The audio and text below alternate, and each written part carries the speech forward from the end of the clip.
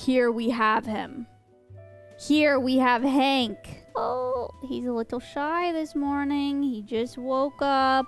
He's tucking his head under his body. Hank is a smoky ghost millipede, also called a smoky oak millipede. And we did purchase him from someone that uh, captive breeds millipedes. We purchased him as an educational ambassador.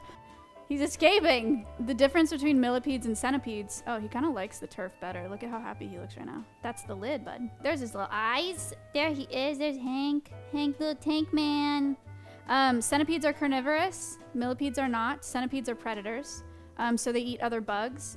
And millipedes are decomposers. They're detritivores, so they, they eat the dead things. Look at him go. See, this is why we call him a tank. Tell me this isn't a train right now. Tell me his, he isn't a train.